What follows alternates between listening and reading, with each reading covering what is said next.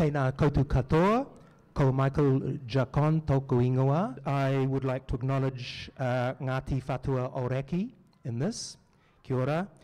Um, today we are here to honour Chris Tse, okay?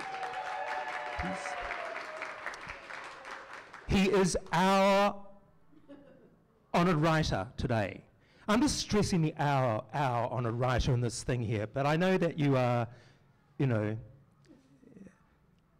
the, the nation's honoured writer as well and beyond. But I just thought I'd stress that just to begin, Chris. Okay. Um, I thought I would begin um, by way of welcome uh, with um, the introduction and introduction with the um, the e kongyo, a koinyo ana, I wish bio-like paragraph from Angela Barnett in the recent Sunday, Ta Sunday Star Times magazine.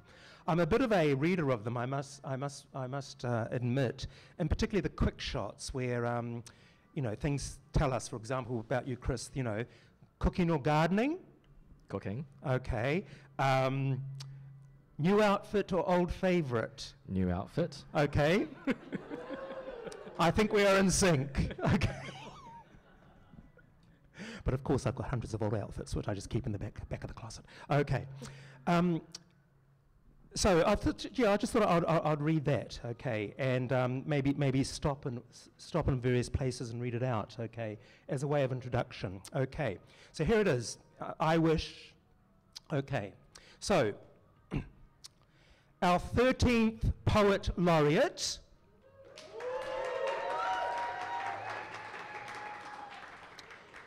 Is a prophet hiding in a 40 year old body. I must say, I just, I must say, I found that, I found that opening quite shocking. Did you think I was 50?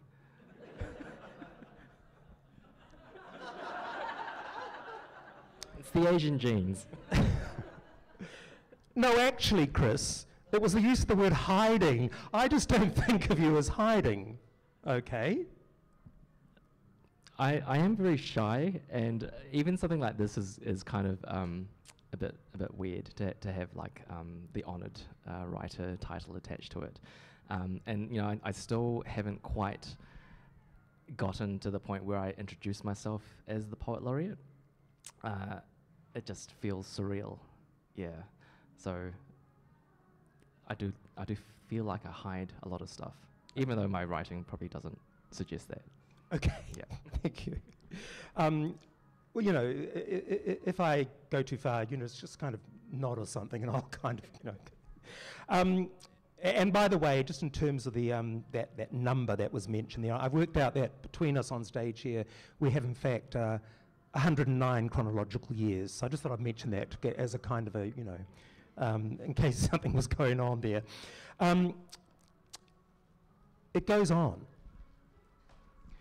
Chris Tse lures you in, lures you in with a book collection, with book collection titles such as How to Be Dead in a Year of Snakes, then expands your thinking in as few syllables as possible cracking open themes about racism, queer sexuality, homophobia, Chinese heritage, and pop culture.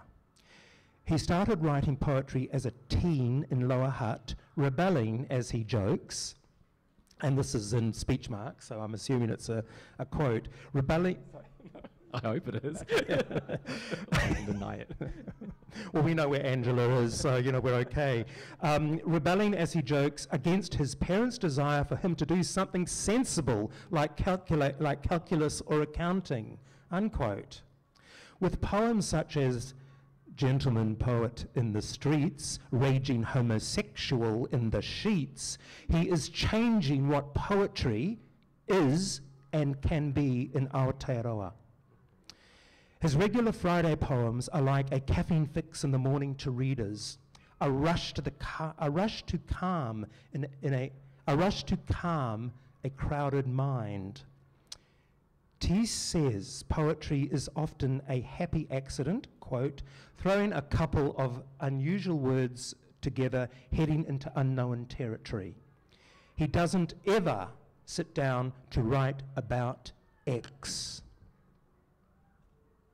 I'd just like to pick out a few, unless you want to have a general comment on that just to begin with. Um, I I haven't actually read the article, and I had um, and I had actually forgotten what I um, answered for those different prompts. I had someone come up to me at the staff lunchroom the other day and said, "Oh, Chris, I read your article in the Sunday Star Times." Like, oh, okay. I'm Really glad to hear that you're an Optimus Prime fan. like, oh yeah, that's right. I said that. but I stand. I'm sure I stand behind all of it. I think you have to at the moment, Chris. um, so, uh, so, so, some of the statements I'd like to think about, especially the, the, those ones about how you came to poetry, and, and in here you're talking about um, uh, some maybe some form of rebellion or reaction against parental concerns. Okay, and el- elsewhere, um, such as in uh, the, there's a Guardian interview with um, Charlotte Graham May, uh, you talk about where you fell in love with poetry um, after your high school friends started bringing terrible, angsty uh, poems about their crushes to read uh, to each other at lunchtime. Um, the thought just crossed my mind when I first read that. Uh, was it a co ed school? Yes, it was. It was a co-ed um, school. Hutt okay. High in Lower Hutt. Okay. What was it? Hutt Valley High. Hutt Valley High. And I was wondering, d- did you share any poems? I did. So my friends were starting to write poems and sharing them at lunchtime, and I kind of felt like, well, I, I don't want to miss out hanging out with my friends, so I would start writing poems and bringing them to school and share them at lunchtime as well. And this this just became a thing that we did. Um, and in, in, some ways, looking back on it, it was kind of like our first, well, my first writing workshop. Um, and I, I think, you know, I kind of took it to the next level because what I would do is I would print out all of these poems and arrange them into little sets with like overarching titles and then keep them in clear file folders.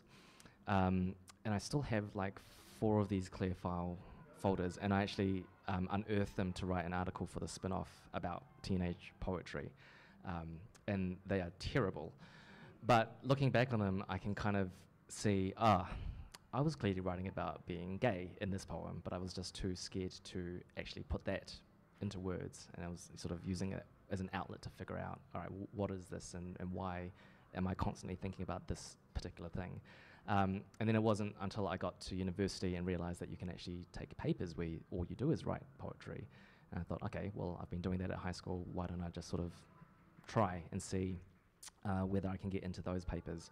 Because for me, writing had always been there as sort of one of those creative outlets as a teenager. I used to write song lyrics and I would write plays and things like that for my friends and even my siblings and, and uh, cousins to, to perform. So, so story writing and, and words, always a big thing in my life. Um, and then, yeah, knowing that you could do that at university was quite a revelation, much to my parents' uh, annoyance, I think. they um, definitely wanted me to go off and do a commerce degree, uh, which I completely avoided. Should I move back? Nope. Should I move back? Uh, okay, we seem to be okay. I think Liam will, will sort, out, sort us out. Uh, you did a double degree, did you? No, so I ended up just doing um, a BA in English literature and okay. film, and then went on to do the masters in creative writing. Just with those um, those earlier poems, just a thought. So with that kind of juvenilia, you said you've still got them and you've actually retrieved them for that article. Is there have you ever have you had any, ever had any other thought of maybe um, revisiting them in, in another way, maybe in a reflective way? Uh, it's just that I'm actually doing something like that at the moment um, with them, uh, with my what I would call my juvenilia. In part prompted by um, MASC, but I'll talk to you about that later. Yeah, I just wondered, uh, had you, you seen them in any other light? I think I'm just going to let them collect dust for a while. Okay. Um, what I mean, one of the interesting things is like uh, being named laureate. Um, one of the things that is attached to it is that the, you know you, I work quite closely with the National Library now, and one of the not clauses, but one of the things that um, they say that they'll do is they will work with me to um, archive anything that I write during my tenure. Um, but because I, uh, you know, these days I just write on a laptop or on a phone. Like I don't actually really keep like, you know, drafts and all that sort of stuff. I'm trying to make it a habit, so I sort of save new versions so that I can kind of trace all that sort of stuff. But just you know, thinking about that made me also think about all of that really old stuff that is still floating around in in paper form, and thinking, okay, maybe one day this will be in the National Library. Um, hopefully, I'll be long gone by then, and I don't won't have to see people's reaction to it. Well, you know, we have people with us who are in the National Library, so they could they could mostly vouch the deepness of the, the depth of the vault. You know, so we can take it from there. Um, uh, uh, also, in here in I Wish, um, there is uh, references to your creative processes. Um, and similar to uh, a number of comments I've, I've read elsewhere, so we, are talking about um, uh, um, you, uh, the, the idea that um, poetry being a happy accident, uh, throwing a couple of unusual words together, leading to unknown territory, and that you don't uh, ever, ever, ever, ever sit down, that was my evers, ever sit down to write about X. Um, I was just thinking about this and um, uh, wondering, oh my God, I must try that. But it suddenly occurred to me, I was wondering whether this um, happy accident, un- fusion of unusual words, unknown territory, I wonder is it some kind of, some kind of zone? Do you think it's some kind of a zone? I think I, I go into. Uh, so I, what I do is I tend to just write lots of scraps down um, in my phone uh, or just on a Word document on my laptop, uh, and then the next part of that is figuring out, all right, uh, what are, what goes together. Um, I know that this is probably going to be a poem about this, so how do I sort of like then start to fill the gaps? Hmm. Um, I I have found it really hard in the past, and actually with prose. Um, I can't write from A to Z like that. Like my thinking just is all over the place, and then I sort of piece it together um, through the editing and the rewriting process. Um, but one of the interesting things is I have started to write um, acrostics, and that's actually a form that is actually forcing me to write in a very linear form because um, I'm trying to just use that you know next letter or that or that next line to to guide where that poem is going. Um, so that's sort of me, I guess, in a way, trying to retrain my brain in, in terms of how I write. Um, yeah, I mean, uh, that, that sort of comment about like, I don't. Talk louder. okay. Um, is that better? Okay. Sorry. no one's ever asked me to do that. Um, I what was I going to say? Um, acrostics. So yeah, retraining my brain to write um, in, in, that sort of linear fashion. Um, mostly because at the moment, yeah, oh, that's right. Um, the not sitting down to write, a, write about X, um, that's actually changed quite a bit since becoming laureate because I am now being asked to write poems for events or um, certain things. So I kind of now have to sit down and think, all right, well, I, I, have to write a poem about this particular topic. How am I going to um, figure that out. But then again, you know, I will just throw a whole bunch of words, images, things down, and then figure out how to piece it all together. Yeah. Um, could you just um, um, mostly come back to the poet laureate and the writing about X, the, the poet laureate and the writing about X later? Um, could you um, just maybe just just quick uh, a quick uh, definition of acrostics? Uh, so that's when um, when you look at the first letter of each line of a poem, it actually spells out something. So the reason why I've, I've started writing acrostics is because when the Queen passed away, everyone was asking me, "Where is your poem about the Queen?" And I had to very diplomatically and gently say, "There's no way I'm going to write a poem about slash for the Queen. Um, not my thing." Uh, interestingly, uh, Simon Armitage, who is the UK poet laureate, um, he's kind of expected to have to write poems for the Queen and royal family members. And he ended up writing a double acrostic. So if you look at the um, lines of his poem, it spells out Elizabeth, Elizabeth. And everyone said, oh, well, my friend said, oh, maybe you should write an acrostic. Um, I dare you to write an acrostic that says Shakira, Shakira. and so I did. Um, and then now that sort of got me onto the path of writing acrostics, which I think are, um, I'm, as poet laureate, I'm going to make them a thing again. I'm bringing them back. Great. um, I was just, uh, I was just, just uh, the thought just came to me when you were talking about writing, you know, being asked to write a poem about the Queen. I guess you could have written a poem about a Queen and, um, you know, put it out there. I wrote a poem about Queen Shakira. There you go. there you go. Okay. Um, the, just staying with this idea, interesting what you've said that you. Um, uh, I know you, you, know you're now having to write about X uh, in a way. Um, the, the, this inter, you know the, this thing this um, kind of bio thing and other and, and in other places that I've read does point out to um, does talk about you cracking open themes such as racism, queer sexuality, pop culture, and so on, and um,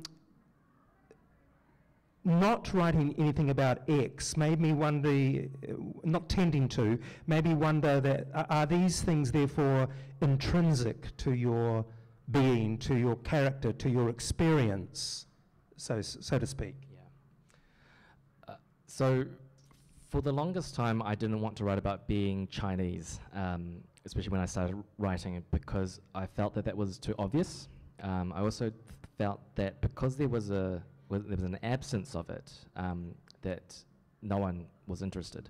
So I kind of left that alone and um, just wanted to write about going out and getting drunk, um, which is totally legit. But you know, when when I started the master's program, I found that the poems that I was writing that actually kind of got um, more of a response were the poems where I wrote about um, my family, especially my great grandfather who came to New Zealand um, in 1919. And then um, that year, 2005, was the 100 year centenary of the murder of um, Joe Kum Yung, uh, which is uh, what prompted me to then start writing about his murder and the circumstances around that. And I think that was when I sort of realized I think this is the sort of stuff I need to be writing, if not for myself, then for other people, um, to eh, put that out into the world, to, to, to create visibility around some of this stuff. Um, and then as I sort of started to become more comfortable with who I am and started coming out to people about being gay, that's when I started to be a bit more bold and actually write about it quite explicitly.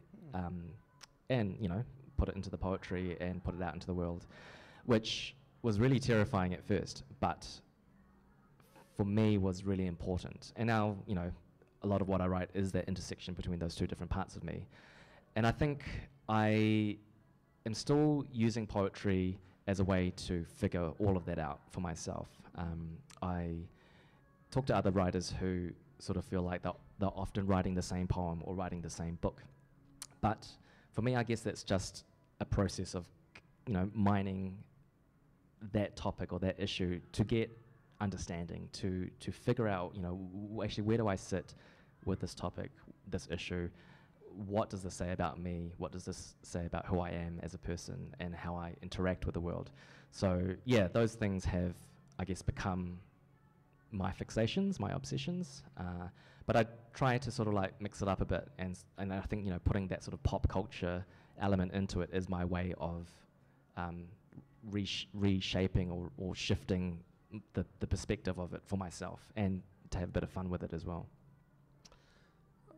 Thank you, Chris. I think that was just amazing to hear that. Thank you for sharing that. I think that's uh, it's most probably finished our interview, but um, but no, but thank you. That is a tremendous way to uh, talk about things. I mean, uh, it's making me think about you know, my own writing. Thank you so much. Let's therefore go into the books a little bit, if we, if we may. Um, uh, and all of these books, you know where they are as we, as we sit here? Okay. Um, I'm thinking about these, oops, these three um, books to begin with. One moment, please.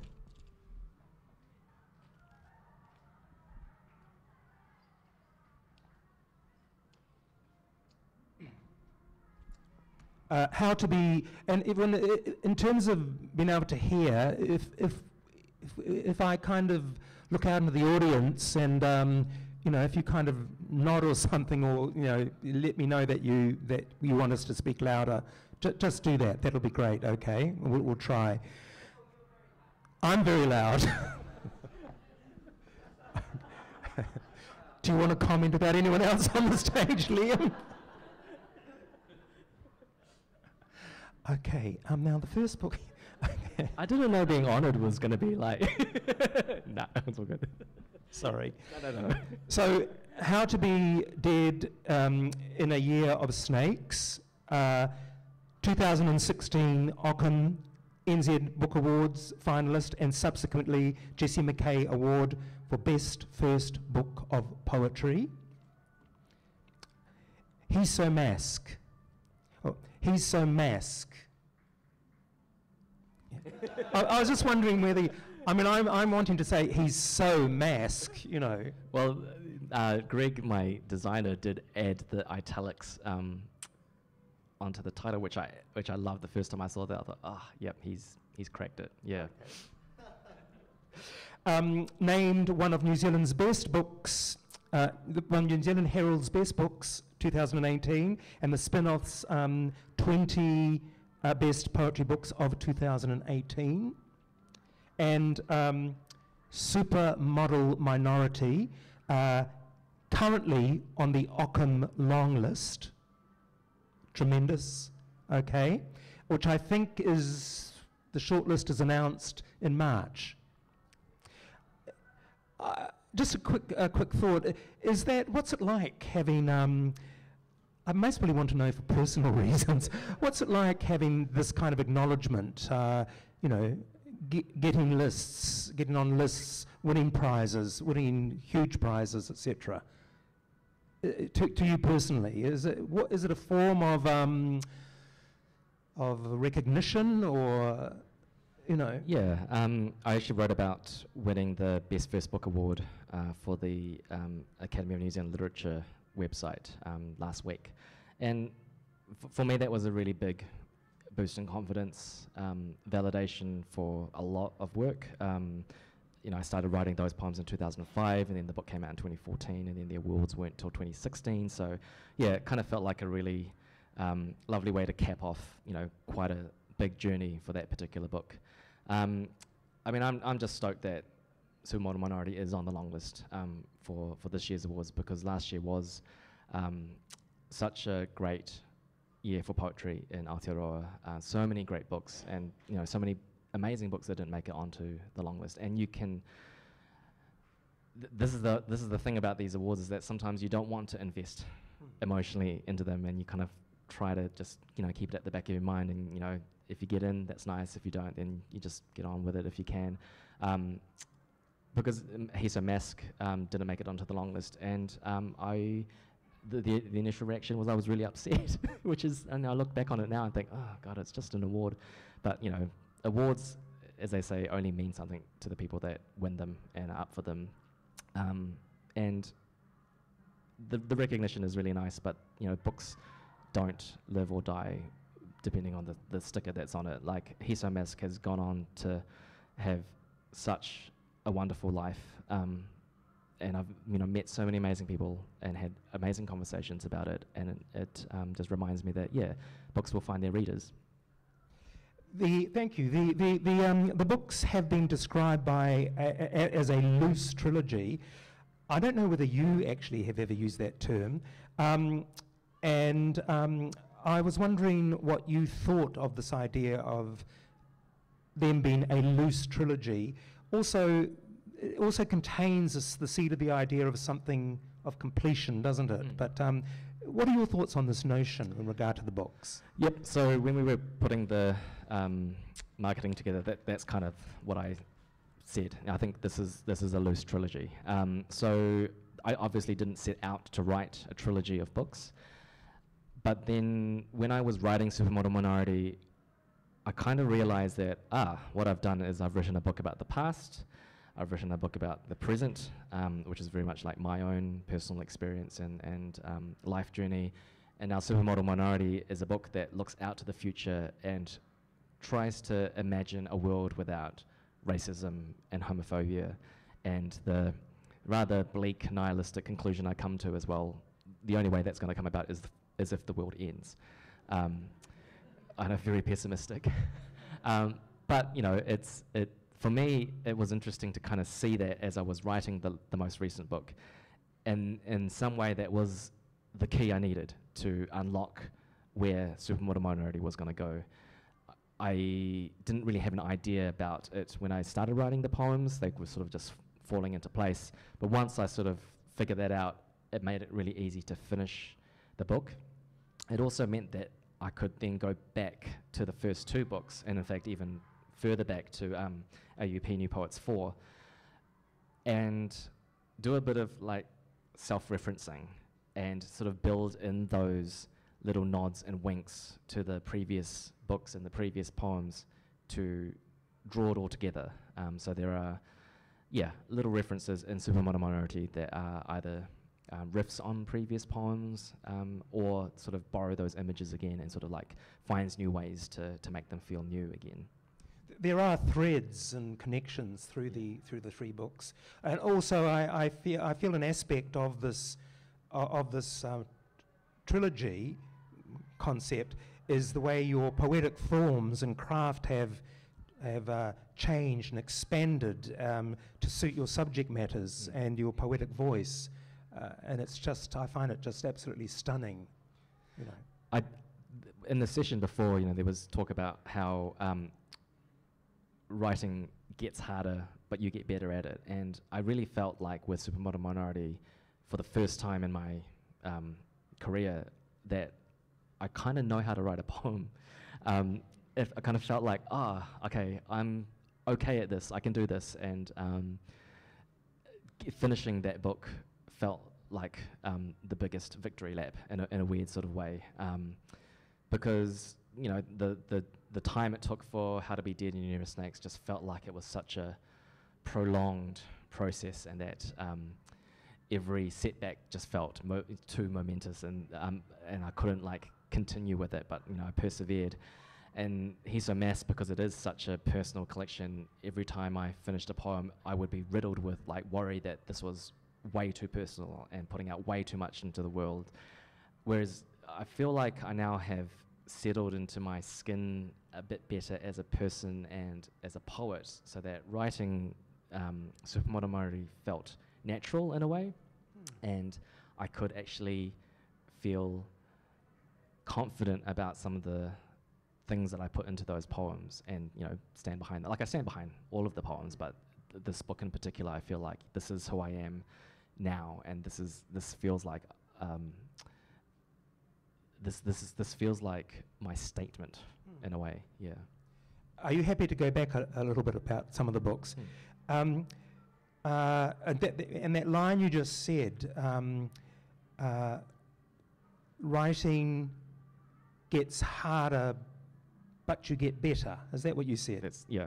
Something like paraphrasing someone on the previous session. Yeah, uh, which is a wonderful statement to put down, for, you know, to for us, us as writers or would-be writers to to think about. Okay, I've got to say, after reading, rereading, and reading your books, I honestly thought I was so overwhelmed by them that I kind of thought that. Um, I don't know whether I'm ever going to write another poem, but then, but the reverse of that is, is that I've also been incredibly inspired by them. I'm not just up here in the spotlight saying this to you. This was a, this was this was the wonderful feeling I had with How to Be uh, Dead in a Year of Snakes.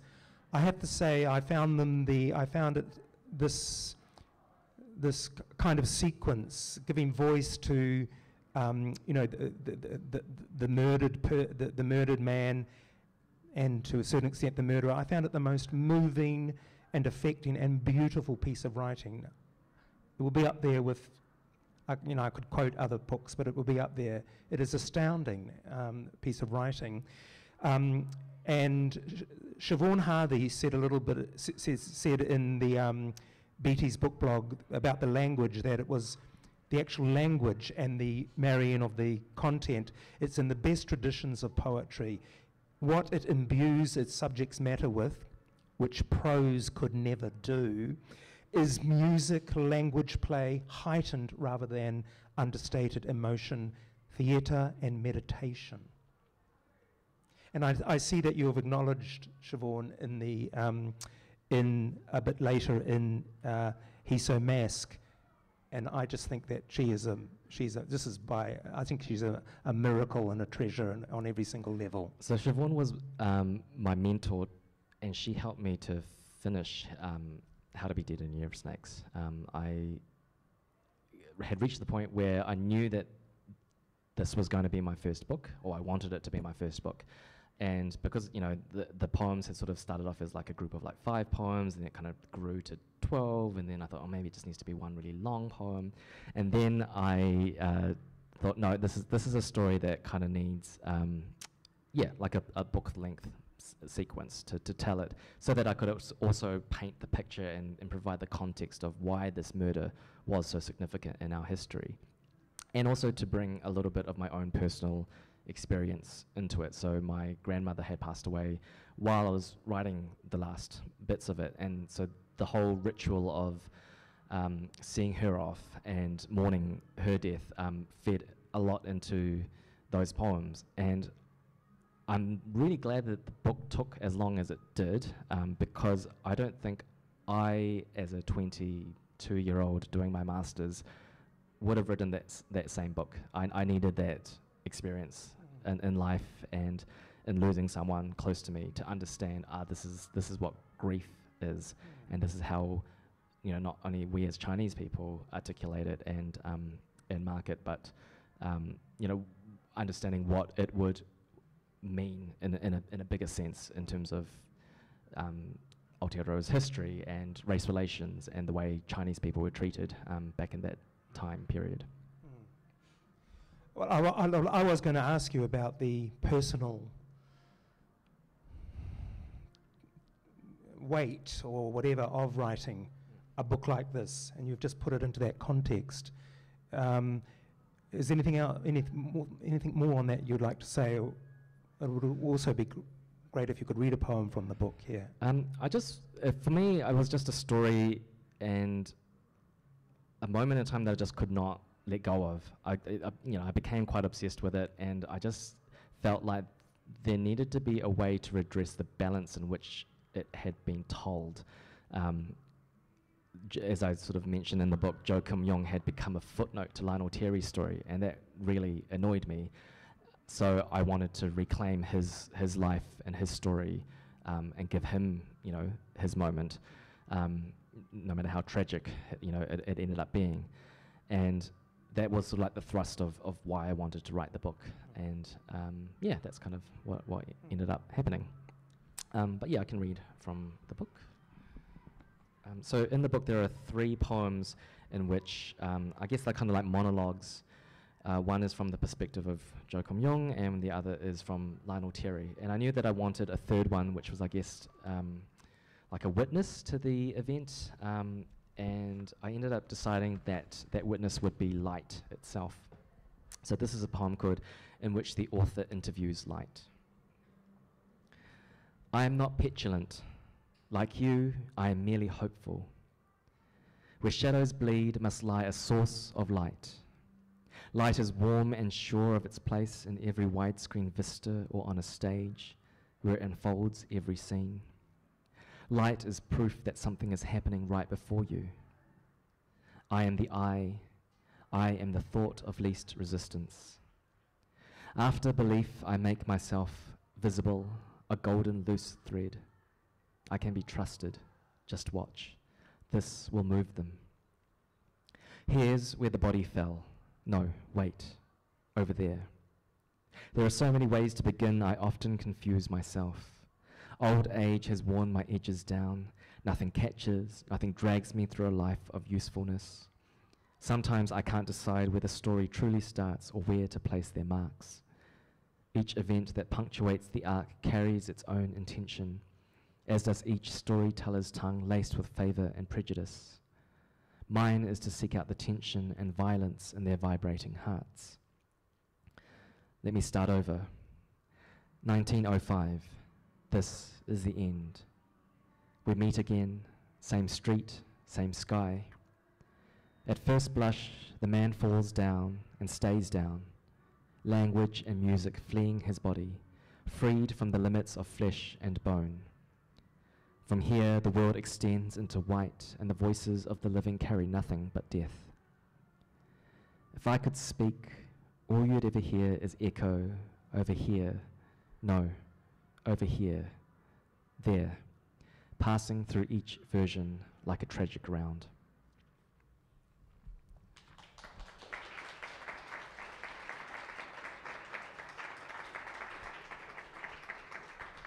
Thank you, Chris. Uh, on the, um, in terms of He's So MASC, um, on the back is a quote from a poem, and it is, this is my, I'll read it out. This is my blood oath with myself. And so you are, I'm from the old, I'm from, I guess I'm a bit old school about actually saying, you know, so the the author's voice in this here, you know, but I, I like the way that um, the that uh, the I in these poems I'm uh, sometimes seems to be you, yeah. This is my blood oath which uh, with myself. The only dead Chinese person I'll write about from now on is me, which seems to me maybe to go uh, back as well as forward into this. Um, uh, volume, and I was wondering if that we could use that as a um, as a way to start talking about He's So MASC. Yeah, so He's So MASC was definitely written in response to How to Be Dead in Snakes, which um, was about another person and persons. And even though there was some personal experience that sort of, um, you know, was infused into some of those poems, um, it wasn't a, a book about me. Um, there's also, the, I guess, the public and critical response to how to be dealing with snakes, which was mostly very positive.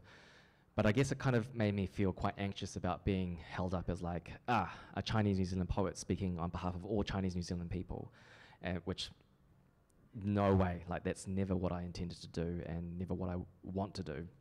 Um, and it made me feel quite uh, nervous about being put into a very particular box about being the Chinese New Zealand poet.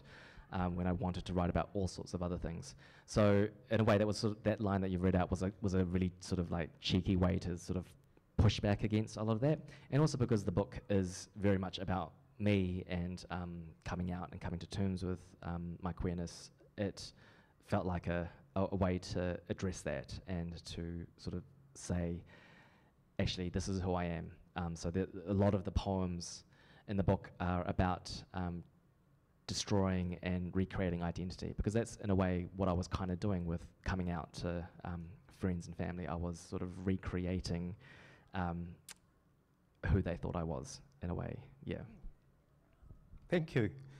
Uh, in our correspondence, I, I, I, mentioned to you that uh, reading it, that reading it, we're okay, that reading it um, really, really um, began to stir memories for me of um, my what I call disco days and nights in my late 20s and and and and, my, my, and into my 30s, which were in the um, in the 1970s and 80s, and there maybe a couple of people in the room who are who were around then as well. Um, and uh, it, it, to me, it was very, very moving because uh, there is a there is a um, a lot of um, of uh, searching, uh, some angst about it maybe, um, of looking for connection and for loneliness, and I can. I I haven't really revisited it for a long time, and it, it came up there in that, um, and I thought about in the book here do those kind of feelings and reactions which come from the poems and a lot mu- and much much more of course is it in fact part of a of a definition of masc or what it's like maybe to be masc at a particular time? It contains those those um, those uh, those feelings as well as whatever else that you know the, uh, the notion of masc might mean. And I'm, I'm assuming we can extrapolate this out to other forms of identifications, but you know, um, yes, is it part of a definition of masc to feel those feelings, etc.? Interestingly, I did a, I did a reading in Carterton last weekend, and someone came up to me afterwards and said to me that he found that my poems were very masculine, which it, uh, the first time anyone's ever said that to me, um, because don't feel like they are. But he said something about how the angst and the rage in them is a very masculine angst and rage. Um, you know, for this book, I'm obviously playing around with the, with the whole idea of you know mascness in in, in queer um, communities, and never feeling like I ever ticked those boxes or, or fit into that mold. Um, particularly as someone who was like really into poetry and Tori Amos and Björk and PJ Harvey, like as far away from masc as you can get. Um, but then I think, actually, no, those three women are pretty fucking masc. um, so maybe I, I, am in a way sort of channeling something from them in terms of how they articulate rage and, and anger in their own artwork. Um, uh, uh, so for me, a lot of the poems in those book in this book is is figuring out like, okay, well, what does masc mean, and is it something that I want to be pursuing? Is you know, is it something that is is ever going to be attached to me as a person, as a as a gay man? And I think I think the answer is maybe. I don't know, depending on on who you talk to. Um, and I think you know a lot of the conversations that I've had since the book came out have been around that. How do we redefine what masculinity is, not just for gay men, but uh, for men in general, um, and allowing emotion and vulnerability to be part of the equation. So, I think about um, a poem in the book called "Crying at the Disco." So, crying at the disco songs are like my favorite subgenre of pop music. Um, songs about going out dancing while sad but the music th itself is really upbeat and, and wonderful. So I'm thinking like Robyn. Um, so that in the back of my mind while writing this book was is kind of how I was sort of thinking about masculinity. Um, and for me, that's that's an ongoing conversation. Like I'm, st I'm still having these conversations, and you know the fact that someone came up to me last weekend and said that he, he thought that the poems were masculine sort of really yeah surprised me and, and made me then think oh maybe maybe maybe I am a bit masc. I don't know. well, we could hear the poem. I don't know how long it is, Chris, but uh, yeah, yeah, we could hear the poem. Crying uh, at the crying, crying at, at, the, the disco. disco. Oh dear. Okay.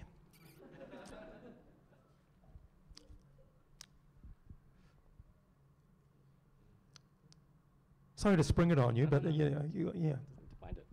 Um, and in, in fact, uh, you know, in skipping a little bit ahead, um, in Supermodel Minority, uh, the, the third part of that book is called Poetry to Make Boys Cry. And yes. so I kind of feel like that, that is me revisiting this particular poem and this particular feeling, and then sort of um, saying to myself, it's okay to cry at the disco.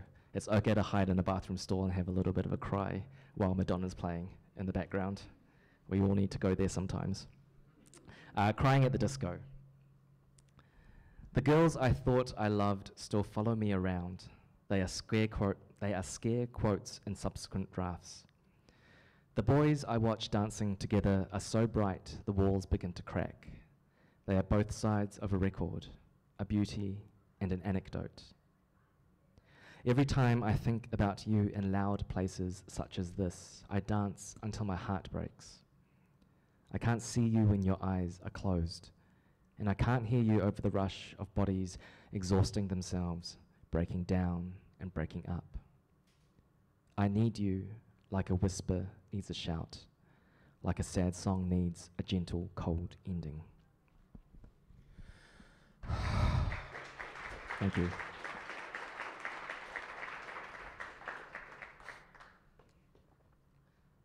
Just a second. Thank you, Chris. Um, let's, you, you just mentioned Crying in the Disco connection through to um, super um, model minority and the, um, yes, and the, um, uh, poetry to make boys cry. So let's, can we think about this astounding book? Okay. Um, I'm just I'm just channeling here a, a, a, journal chat from the Vic Books, which I understand is no longer with us. Uh, almost, I think until the end of March. Yeah. Okay. Yeah. Um, and this was a question and answer, and it asks how is Supermodel Minority different from your previous two collections? And it goes on and says things such as this, which I'd like you to maybe to comment on. Mm.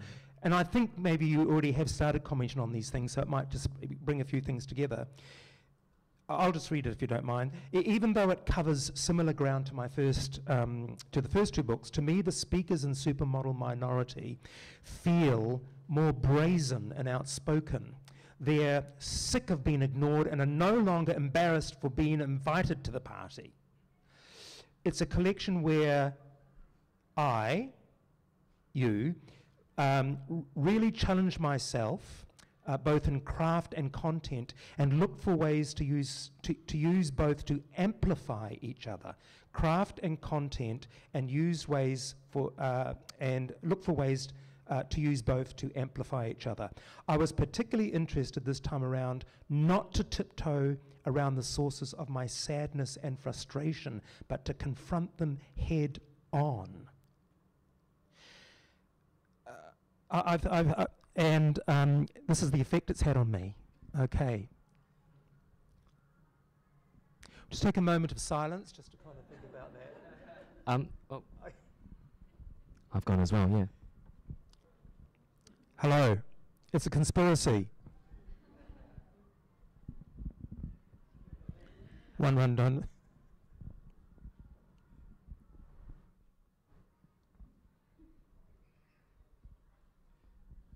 I think we carry on, do we?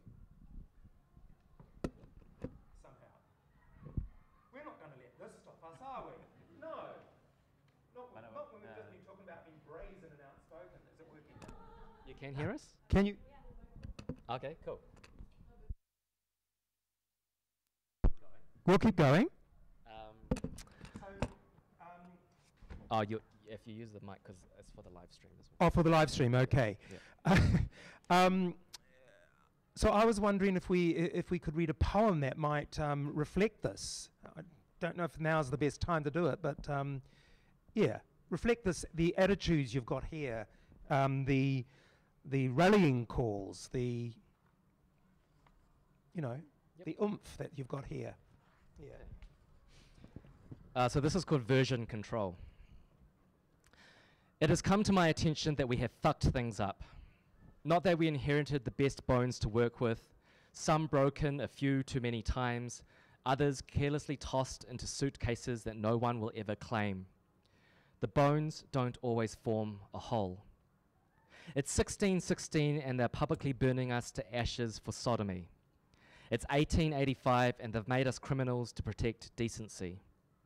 It's 1998 and they're beating us, torturing us, and tying us to fences. It's 2021 and they're rediscovering old ways to erase us. Each time we say it gets better or that we will learn from the past, we set ourselves up for crushing failure. Jinxed and cursed, a self addressed envelope for a future that will never come to pass. This time is no different from all the last times. In one version, we were golden, our nights sweetly perfumed by the sea breezes of childhood holidays and apple crumble just out of the oven. We fail to mention that one year a young boy's body washed ashore in non accidental circumstances, and later, bad wiring in the oven was the cause of our house burning down. In another version, our days are drowned in blue screen light, electrifying our brains and keeping us up at night so that we stew in the unmistakable stench of bodies rotting under the floorboards. We buried our dead, but we didn't bury the causes of their deaths. And therein lies the seed of our predicament. All these versions of the past are the same explosion replayed at different speeds, and our failure to act is the debris blacking out the sun We can't bury the lines between then now and now then, hoping no one will notice they're missing and go looking for them to prove we haven't changed at all. We can't be that fucking naive. Tell me which version of the world you want to live in. The one in which the definition of a body is a loaded gun waiting to be shot, or the one in which the definition of hope is a meteorite passing over our heads and disappearing into the uncharted skies. Both are valid, but only one will let you sleep at night.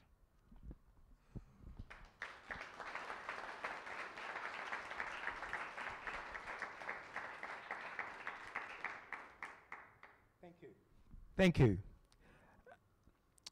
In the, you mentioned the final section of your your book, and I'd love to talk about it all. The the, I can't, the vexillology one. yeah, um, I just think it's also it's also astounding. The final section, poetry to make boys cry, just just very just touching on it. At first glance, uh, the title, poetry to make boys cry.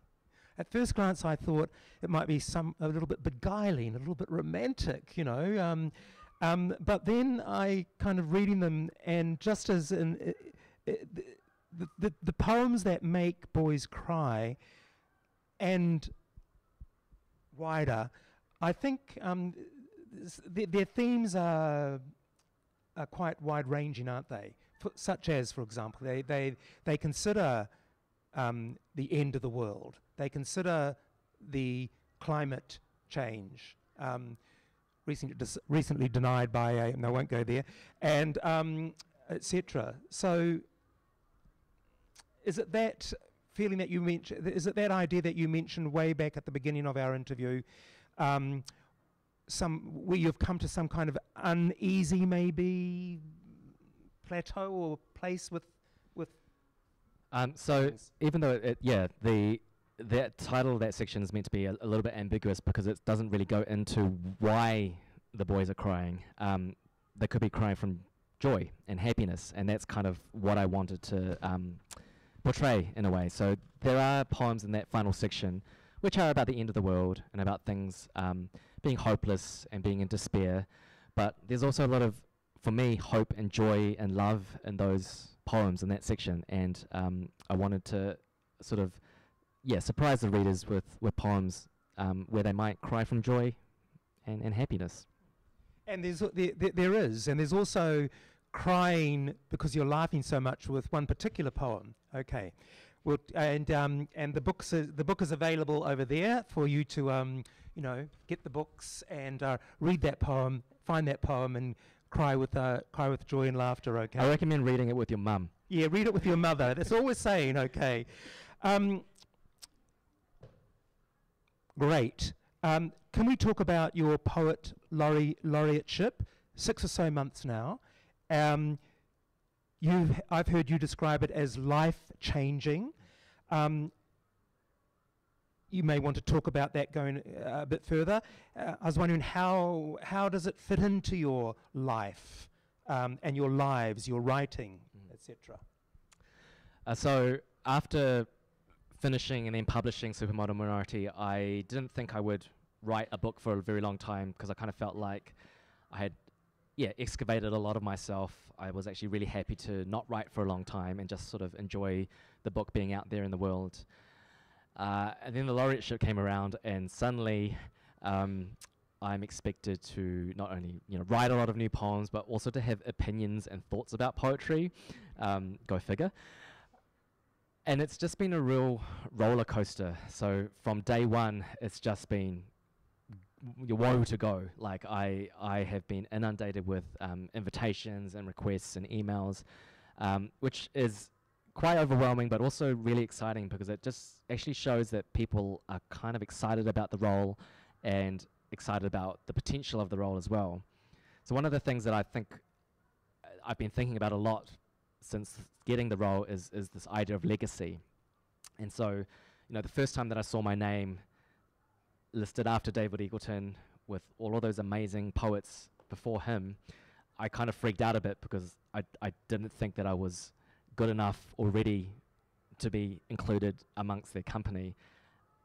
And I've sort of had to grapple with that a lot. Like I still haven't come to terms. You know, I, I said before that I still find it really hard to introduce myself as the poet laureate because I kind of feel a little bit of like, oh, you know, no one's going to believe me. Um, uh, but I'm, I'm trying to embrace that and to to embody the the significance and the and the manner of the role um, to the best of my abilities. But I also think that a role like the poet laureate is is a role about the future and a role about looking to the future and looking to opportunity and seizing opportunities, not just for myself, um, but for all poets and for all poetry in Aotearoa. So one of you know the big things for me is is how do I use this role to shift the conversation about poetry in New Zealand and you know how people access it and how people get to enjoy it. Um, really, sort of thinking about the role of poetry in our everyday. Um, that's that to me is the exciting stuff, and and to be able to work with poets and to bring them along with me is is a really important part of of what I think the role is should do, because the role is initiated by public nominations. So there was, I, I was very aware of um, a campaign to get me nominated to be poet laureate, and I, you know, I didn't want to get involved in all of that because I didn't want to be seen as sort of like being the puppet master. Um, but you know, knowing that that there was this widespread support and um, so for me to be nominated just makes me feel like I have the backing of um, a lot of people already, and that that that makes me feel so much better about stepping into it and and being the poet laureate um, yeah.